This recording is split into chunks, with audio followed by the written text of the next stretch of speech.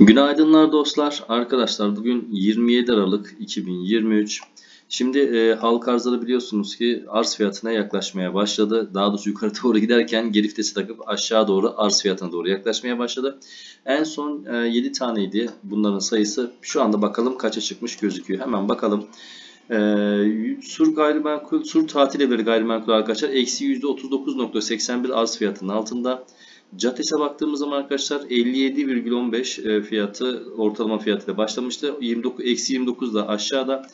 Avrupa Avrupa Kent Gayrimenkul eksi 25, Mega Metal arkadaşlar eksi 19, Tab Gıda eksi 16, Büyük Şefler eksi 14, BN Yapı arkadaşlar eksi 10, Batı Ege Gayrimenkul eksi 5.66, Kuzu Grup Gayrimenkul eksi 4, DMR unlu gıdalar arkadaşlar eksi 2.63, Ataköy eksi 1.77, A1 Kapital arkadaşlar eksi 0.95 ve Bay Döner arkadaşlar eksi 0.57 olmak üzere toplam 13 tane hisse şu aşamada arz fiyatının altında arkadaşlar.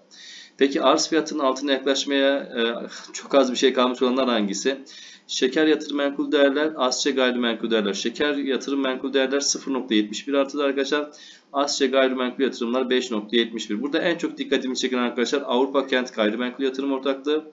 E, arz olduğu günden beri arkadaşlar ekside kapatıyor ve e, şöyle diyeyim eksi e, e, arz fiyatının altında e, kapatıyor arkadaşlar.